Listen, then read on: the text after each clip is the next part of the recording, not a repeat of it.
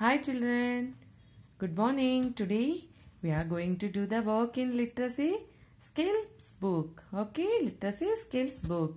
Now today there is a page. Page number see see one by one we need to open. See page number 4040. Okay. Now see color the big and small letter and see big and small. What is that letter children? That is letter K. Now take a crayon. Yes, I have a crayon box. See, I am taking green color. Yes, now doing coloring. Yes, see, like that.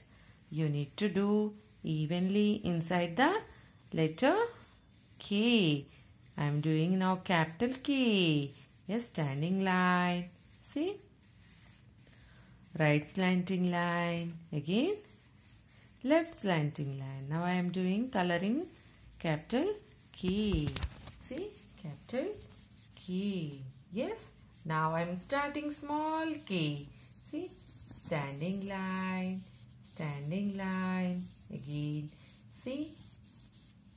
Left slanting line right slanting line. For this K also. K sounds K.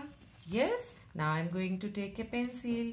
See, trace the letter K. Here we have a work. Okay. See, trace the letter K. I am showing one. You need to practice in all the dotted lines. See, see, standing line, right first. Then slanting line. Another slanting line. Yes, this is capital K. Like that, you need to practice all the K. Say what is K sound children?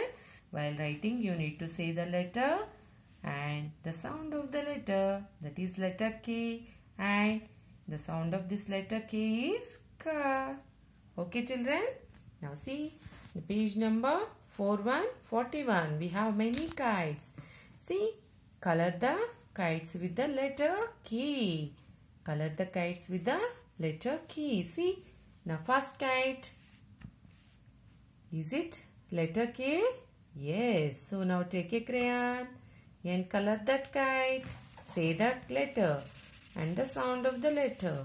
Now that is letter K. K sounds K. Now see, I am going to see another letter. Is it letter K? No. No, this is not letter K. Now see, is it letter K?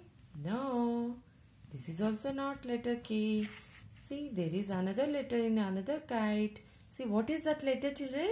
Yes, this is letter K. You're right. See, I'm taking another color of crayon. See, to color this kite. See, I found another kite with the letter K. See, I took orange color crayon holding very tightly with my fingers.